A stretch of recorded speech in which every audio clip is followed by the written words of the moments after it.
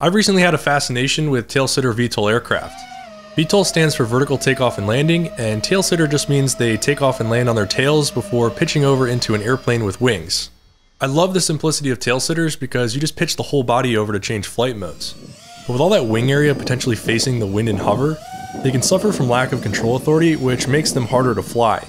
This little guy tries to remedy this by using four motors like a quadcopter to get more control, and some biplane wings for lift and forward flight. This definitely works and is plenty controllable, but then you have all this extra stuff creating drag and forward flight. Plus, a biplane design like this actually isn't that efficient despite twice the wing area. If only there was a way to take a highly stable and controllable platform like a quadcopter and somehow unfold it into a single large, efficient wing for forward flight. Oh yeah. Let me show you how I built this thing. I started out in CAD land with the intention of being able to 3D print the entire airframe. My primary goal was to create a very high aspect ratio wing for forward flight. Aspect ratio is just the geometric ratio of the wingspan to the wing chord. Since a large portion of a wing's drag is produced by induced effects from the tips, a high aspect ratio wing gives more total lifting area for proportionally smaller wingtip drag penalty. In an extreme case, a wing with infinite aspect ratio has no drag losses from wingtips because it doesn't have any.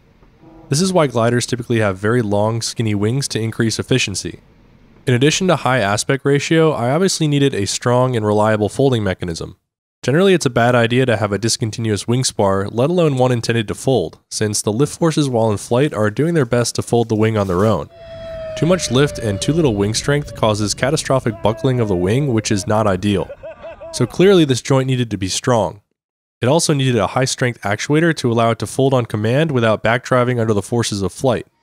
Eventually, I settled on using this high torque linear actuator, which is allegedly good for 40 pounds of pulling strength. I 3D printed some test parts and assembled this mock-up to test the concept. The linear actuator is fixed to the folding wing segment and pushes and pulls on a little offset linkage connected to the inboard wing segment. This causes the two pieces to rotate. Inside the joint pieces are just a few small bearings and a carbon rod to serve as the axis of rotation. What you're seeing is the result of tons of designing and iterating to get such a strong joint with as little mechanical slop as possible.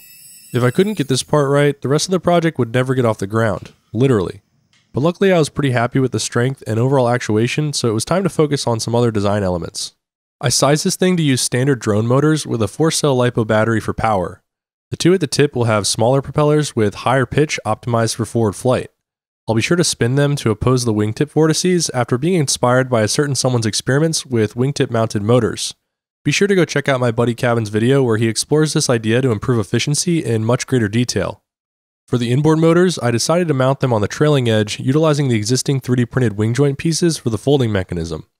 These will have larger propellers optimized for hover efficiency, and then I can just shut them off and fold the props back while in forward flight to further reduce drag. All the parts in red will be printed using regular PLA filament since they serve a structural purpose, but the parts in white are purely for aerodynamics and don't need to be as strong. So I printed those parts using lightweight PLA filament.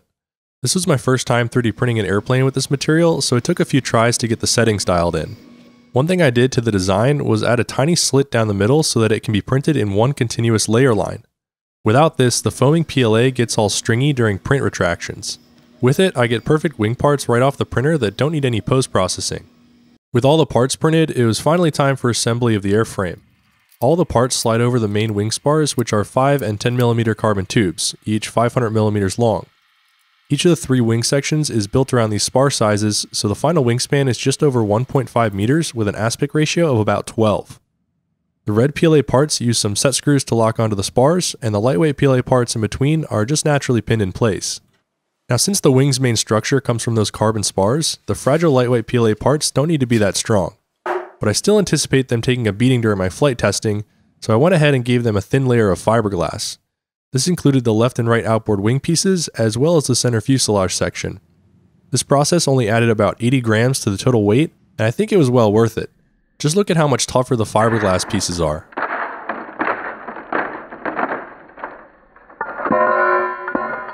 Next, I mounted the wingtip motors and routed the wiring through the wings. I also buried a servo in there before the fiberglassing to actuate the control surfaces for forward flight. I made sure to carefully route the wires through the joint and secure them with a zip tie so that the wing could still freely fold. So satisfying. And after lots of soldering and routing wires off camera, the build was nearly complete. Under the hood, I've got my open source flight controller dRehmFlight running the show. This takes care of all the control mixing and wing folding logic while providing stabilization. So with all that taken care of, let's go take it outside for its first test hover.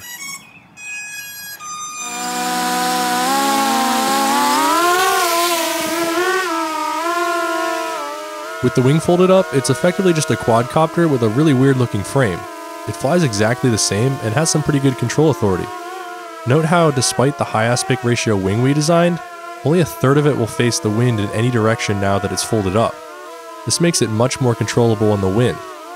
One thing I did to increase yaw control authority was mix in a bit of control surface deflection since the outer motors are partially blowing over them. Normally yaw for a quadcopter just uses the torque of the motors, but with such a large frame, this can be sluggish. Utilizing the existing control surfaces for forward flight was basically free control authority. Nice. This may have looked easy getting it to hover, but behind the scenes there was plenty of tuning to account for the weird asymmetric motor configuration.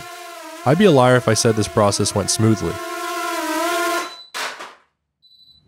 I don't know what that was. I feel like this would have been a lot worse without the fiberglass. You may have noticed I mentioned folding props in the design, but didn't use them during those first couple of hovering flights. The reason is that for the life of me, I can't find anyone who sells counter-rotating folding props, so we'll need to build some. I took these regular props and cut them diagonally across their hub. Then I filed out a square groove and drilled a hole through the remaining hub pieces. For the center hub, the sponsor of this video, PCBWay, hooked me up. I designed the hub to be machined in aluminum, uploaded my file to their website, and placed an order in a matter of minutes. The part showed up in less than two weeks, and I was really pleased with the quality for such a quick turnaround. These hubs can now be mounted on the motor shafts, and some M3 hardware will hold the modified prop blades on. So now I've got that counter-rotating set of props I need for hover, but then they can fold back to reduce drag and forward flight when I shut these motors off. Thanks PCBWay for helping me out and sponsoring this video. Make sure to check their website out, linked in the description. They do everything from CNC machining and laser cutting to PCBs and 3D printing. Now that we've got hover locked in, it's time to start thinking about forward flight. I rigged up this test harness and loaded up some code from my last video where I prototyped some smooth tail sitter transitions with a bicopter wing. Go check that video out on my channel for a better explanation of the flight controller code changes needed to pull the VTOL transition off. It's surprisingly not as simple as just pitching over 90 degrees. Who knew? In hover, variable motor RPM is used to control and stabilize the whole vehicle. When I flip a switch on my radio to begin transitioning into airplane mode, the wings begin unfolding. As they unfold, the whole thing slowly pitches over and the control surfaces begin moving to stabilize forward flight. Once the wings are fully unfolded, the inboard motors shut off and it's basically just a flying wing with elevon control. That's the idea at least. Now we need to go start flight testing. I packed everything up and found a large field to go fly at. Coming in at just about 3 pounds, this thing wouldn't necessarily be a floaty flyer in forward flight and would certainly need plenty of room to fly around. Testing a transitioning VTOL like this, it's best to start from a known flyable configuration and slowly work your way into the next configuration. So what I'm doing is only transitioning partway into forward flight. If anything starts going wrong or feels weird during the transition, I can always fall back on my hover flight mode that's been tuned already.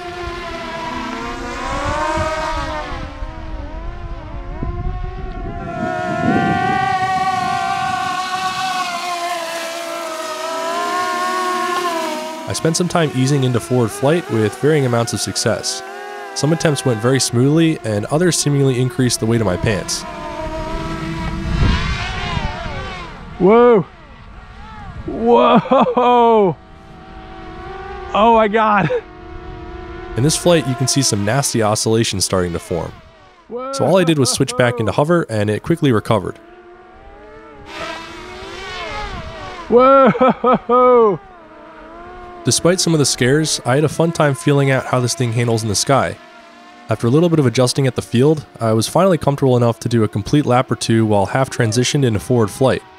As tiny oscillations started to form, I was able to manually prevent them from growing.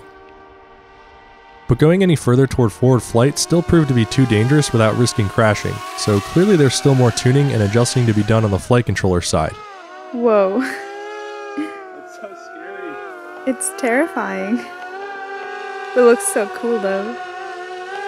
I know exactly what kind of changes I need to make after getting this experience flying at the field, so now it's time to go back home with what we learned and make them happen. That's where I'm going to pause this video and pick it back up in the next one. I think I can get this to work, but I just need a little bit more time to work through the issues. This is an incredibly complex project with a lot of time invested in it, and a crash due to careless flight testing would be painful to say the least. So if you want to see this design fully unfolded, cruising around with some detailed measurements of efficiency, be sure to subscribe so you don't miss it. If that's not enough for you, feel free to check out my Patreon, where I've been sharing regular behind the scenes updates as I work on this project. You can also get early access to all the 3D print files over there before I release them to the public when this project is finished. Now time to finish making this thing fly. See you in the next video. Cheers.